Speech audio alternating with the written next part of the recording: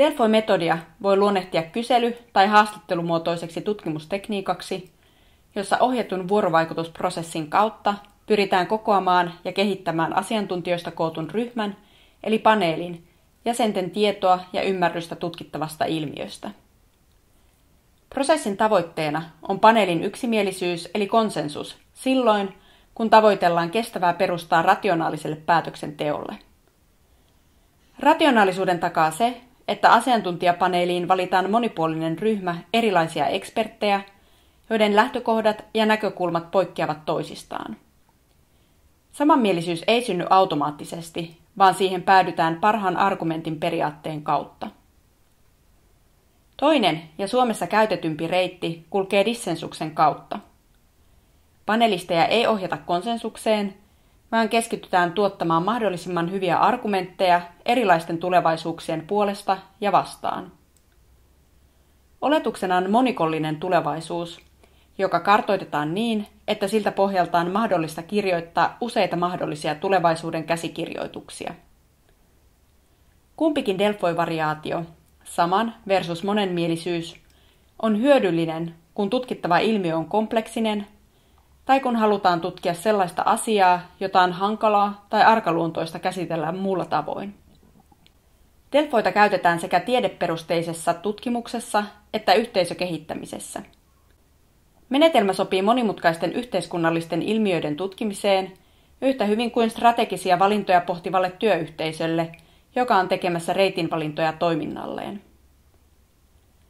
Olennaista on antaa painoa argumenteille ja vaihtoehtoisille tavoille käydä arvioimassa tulevaisuuksia. Videolla esitellään tyypillinen Delfoi-prosessin kulku. Sitä ennen ja sen jälkeen Delfoi-asiantuntijat Osmo Kuusi, Petri Tapio ja Jukka Vepsäläinen luonnehtivat Delfoi-menetelmän olemusta ja hahmottelevat sen merkitystä ja vaikutusta Suomessa. Video on tiivis versio Delfoi-menetelmästä – Laaja ja systemaattinen Delfoi-menetelmän kuvaus löytyy Metodixin sivuilta www.metodix.fi kautta julkaisut. No Delfoi erikoisuus tai erikoisasema on siinä, että se on yksi selkeästi tulevaisuuksien tutkimuksen piirissä kehitetty menetelmä. Eli RAND-yhtiön piirissä jo tuolta 1950-luvulta 60-luvulta lähtien on kehitetty tätä Delfoy-menetelmää. Mutta se on toki muuttanut sitten vuosien varrella paljonkin luonnettaan. Se aikaisemmin lähti tämmöisestä konsensustyyppisestä ikään kuin yksimielisyyttä tavoittelevan komitean ideasta. Ja, ja, ja sitten hyvin tärkeä käänne oli se, että tuli tämmöinen poliisidelfoi-konsepti, joka mahdollisti sen, että tutkitaan monia mahdollisia tulevaisuuksia tai itse asiassa voidaan ikään kuin puolustaa jotakin erityistä näkökulmaa. Ja, ja, ja tätä kautta Delfoi lähestyi sitten toista tulevaisuuksien tutkimuksen selvää eräänlaista, voisiko sanoa jopa paradigmaattista tai kaikkein tärkeintä menetelmää, joka on skenaariomenetelmä, jossa, jossa taas sitten tutkitaan vaihtoehtoisia mahdollisuuksia tulevalle kehitykselle. Ja toki on sitten monia muita, muita menetelmiä, on, on tulevaisuusverstaita ja heikkojen signaalien etsintää ja, ja tietyllä alalla voidaan sitten ajatella tämä mallintaminenkin eri muodoissaan, niin toki voidaan lukea tulevaisuuksien tutkimukseen. Delfoissahan on pohjimmiltaan kysymys siis keskustelun ja ajattelemisen tai tulevaisuuskeskustelun ja tulevaisuusajattelemisen organisoinnista ja systemaattisesta toteuttamisesta. Että siinä mielessä niin nyt ei ole kyse kauhean uudesta asiasta, että onhan hallinnossa aina, niin kuin muuallakin, niin käyty keskustelua ja, ja käydään jatkossakin.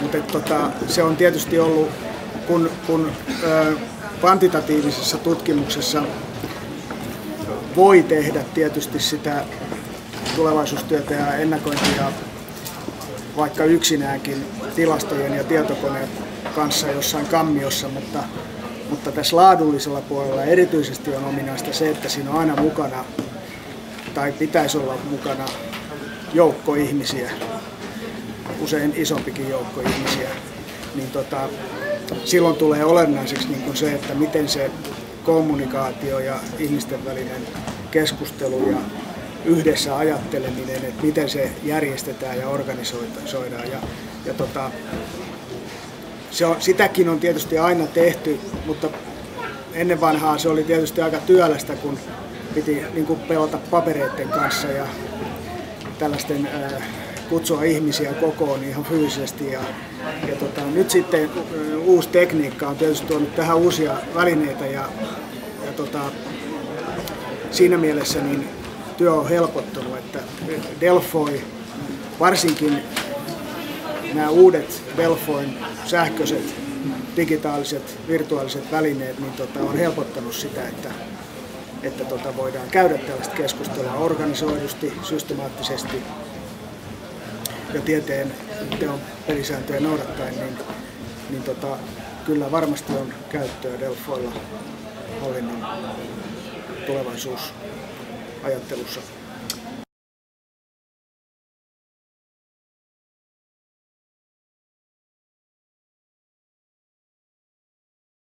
Delfoi-prosessin vaiheet.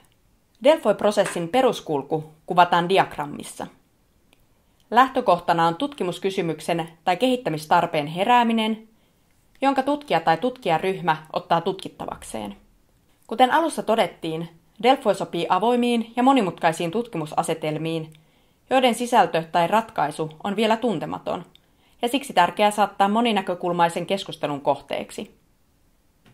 Delfoi-prosessissa avainrooli on Delfoi-managerilla, jonka tehtävä ensivaiheessa on rajata ja tavoitteistaa tutkimuskysymys yhdessä mahdollisen tutkimustilaajan kanssa.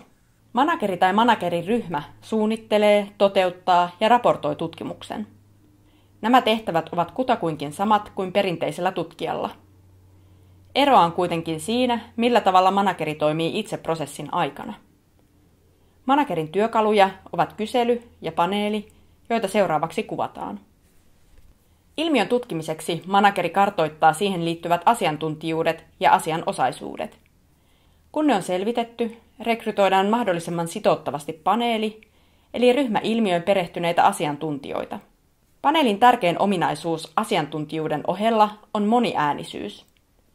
Se tarkoittaa kollektiivista kykyä tarkastella ja kommunikoida ilmiön tulevaa kehitystä monen tulkintakehyksen ja intressin kautta.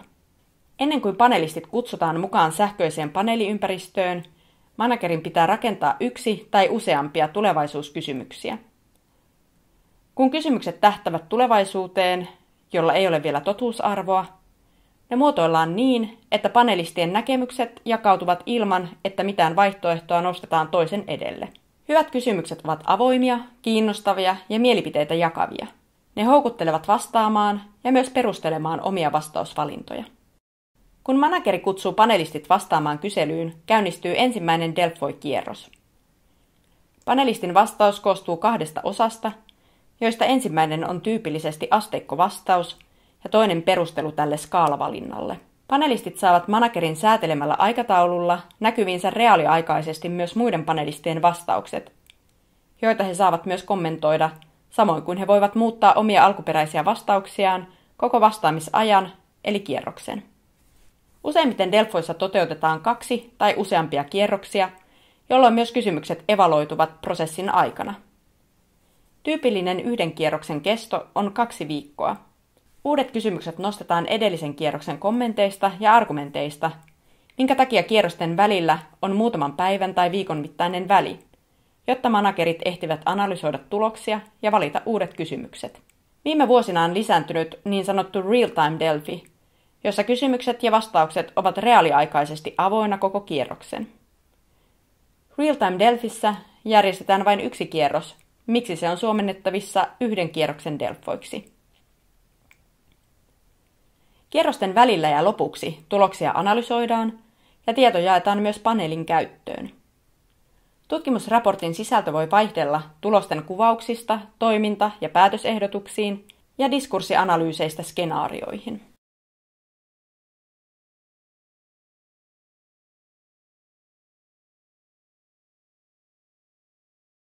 Yksi vahvuus on se, että se pystyy vetämään ikään kuin keskustelun monenlaisia tahoja tai tämmöisiä erilaisilla intresseillä toimivia ryhmiä. Ja, ja, ja tällä lailla se mahdollistaa tämmöisen, mitä, mitä voisi kutsua nimellä commitment reasonability. Eli siis se, että me ikään kuin pystytään löytämään, niin kuin komitea esimerkiksi työskentelee, niin komitea pystyy löytämään semmoisen jonkunlaisen yhteisen näkemyksen, jonka ta- takana sitten voisivat kaikki seisoa, jota nyt esimerkiksi sanotaan tässä sote-uudistuksessa olisi, olisi pitänyt vielä paljon, paljon niin kuin paremmin pystyä rakentamaan sen sijaan, että me ikään kuin yksi esittää voimakkaasti kantansa ja sitten toiset tyrmäävät sen jollain perusteella. Ja, ja, ja, ja, ja toki niin kuin Delfoilla on sitten äh, mahdollisuus myöskin edistää näitä, näitä kahta muuta niin kuin järkevyyden muotoa, eli on mahdollisuus joitakin asioita jopa ennustaa, eli tästä voidaan käyttää nimeä prediction reasonability, eli jotkut, vaikka lähiajan tapahtumat, niin voidaan, se, joka nyt ei ehkä ole niin Delfoille tyypille, mutta sen sijaan se toinen, eli tämmöinen vaihtoehtojen tunnistamisen äh, reasonability, eli äh, josta käytetään englanniksi nimeä option reasonability, eli se, että me tehdään tämmöinen kartta, jossa mahdollisuudet on avattu, niin siihen Delphi soveltuu varsinkin hyvin. Mutta erityisesti ehkä kannattaisi korostaa näissä vaiheissa tätä sitouttamisen ja ikään kuin yhteisen sitouttamisen rakentamista tätä kautta. Jos jatkaisi tuohon vielä, niin, niin tämä sitouttaminen on siinäkin mielessä tärkeää, että ja varsinkin tällaisissa poliisidelfoissa ja, ja ehkä niin kuin yhteiskunnallisen yhteiskunnan, yhteiskunnan niin kuin hallinnon tulevaisuustyössä, että, että tota, puhdas, puhdasta tutkimusta voidaan, voi tutkija tietysti tehdä niin, että, että tutkii tietyn asian ja päätyy tiettyihin loppupäätelmiin, mutta että, että hallinnossa ja yhteiskunnassa pitäisi tietysti, ja niin kuin kunnon tulevaisuuden tutkijakin pitäisi tehdä, että, että tota, homma päätyy siihen, että asioita myös tehdään ja toteutetaan, niin siinä mielessä tämä sitouttaminen on, palvelee myös tätä ikään kuin tätä jatkoprosessia jos, jos tota Delfoissa on saatu sitten näitä, näitä osapuolia mukaan. Ja tyypillisesti sitouttaminen liittyy sitten, tai sitä pitää edeltää tämmöinen niin vaihtoehtojen tunnistamisen ja juuri skenaarioiden ja näiden vaihe. Eli me tavallaan avataan se mahdollisuuksien kenttä, tämmöinen, josta voidaan käyttää nyt nimeä tulevaisuuksien kartta. Ja, ja sitten me ikään kuin etsitään tämmöinen sitouttamisen tiekartta tai roadmap, joka on niin kuin mielekkäin tässä ympäristössä.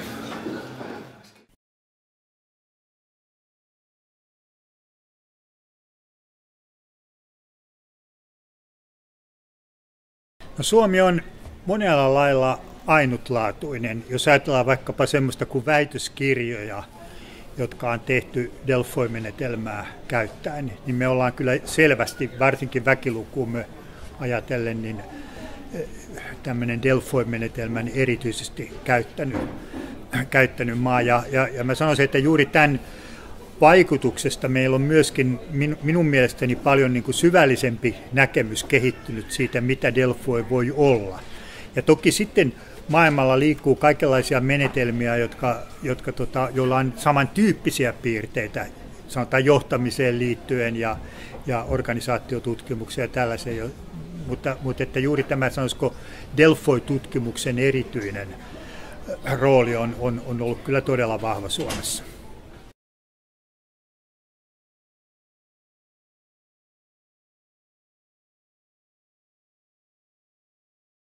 Taas sitä Gelsin jutusta, kun niin. sanoit, että, tuli, että ensin skenaariot lähtee kimpussa ja sitten tapahtuu jonkinnäköisiä hyppäyksiä. Niin, jossain tavallaan. kohdassa. Niin tämä olisi kyllä se kiinnostavaa. Joo, tämä epälineaarisuus mm. olisi sellainen, mitä mm. pitäisi tutkia mm. paljon enemmän. Mm. Mm. Et argumentaatioteoriaa pitäisi käyttää ar- argumenttien analyysissä sillä tavalla, että kuinka rationaalista tai arvorationaalistakaan se on se argumentointi ja missä määrin se on semmoista, niin kuin, että joku heittää jotain tunnepitosta ja sitten muilla nousee vähän niin kuin adrenaliinitasot ja ne rupeaa laittaa sinne ja sitten se keskustelu onkin mennyt niin kuin no mä toivoisin, että nähtäisiin enemmän heikoista signaaleista ja villeistä korteista. Niissä olisi paljon semmoista tota, niin kuin, ää, tota, Paljon tutkittavaa ja muutenkin mm. nämä epäjatkuvuudet. Epäjatkuvuudet. Jos me laittaisiin joku tekoäly vastaamaan meidän mm. kysymyksiin mm. ja tämä pitäisi kokeilla, pitäisi olla useita niitä koneita, mm. jotka vastaisivat samoihin kysymyksiin kuin mitä ihmiset. Mm. Ja sitten katsottaisiin niiden argumentaatiota ja verrattaisiin sitä ihmisten argumentaatioon. Ja sitten tota, niin kun, e, katsottaisiin, tuleeko sieltä samanlaista vai erilaista vastausta lopputulemana ulos. Niin, niin se pitäisi rakentaa, kyllä. jos se tehdään kunnolla. Kyllä, kyllä. Että kyllä semmoinen on kiinnostavaa. Suomessa on kehitetty Delphi-verkkosovellus, joka tukee sekä konsensus- että dissensus-Delfoin käyttöä. Maailman markkinoilla on muutamia konsensus ratkaisuja mutta vain kaksi sovellusta operoi moniäänisen paneelin avulla kohti useiden tulevaisuuksien potentiaalin tutkimista. Toinen niistä on YK on Millennium-yliopistossa kehitetty Real-Time Delphi. Kotimainen eDelphi www.edelphi.org on avoimen lähdekoodin verkko-ohjelmisto, joka mahdollistaa Delphi-menetelmän käytön kaikissa variaatioissaan. Ohjelmiston ensimmäinen verkkoversio julkaistiin vuonna 1998. Sen suunnittelusta ja toteutuksesta ovat vastanneet Turun yliopiston tulevaisuuden tutkimuskeskus, tulevaisuuden tutkimuksen seura, Otavan opisto ja Metodix Oy, joka nykyisin kehittää ja ylläpitää ohjelmistoa. Metodixin tukena on laaja tuhannen hengen kehittäjäyhteisö edelfoi.ning.com. Koodista vastaavat mikkeliläiset ohjelmistotalot Metatavu Oy ja Mindhive. Delfoi-koulutuksesta on jo 20 vuotta vastannut Otavan opisto, nykyiseltä nimeltään Otavia, www.otavia.fi. Sekä ohjelmistosta että koulutuksesta kerrotaan tarkemmin eDelfin etusivulla www.edelfi.org. Englanninkielinen eDelfi on käytössä yli 30 maassa Euroopassa, Pohjois-Amerikassa, Australiassa, Afrikassa ja Aasiassa.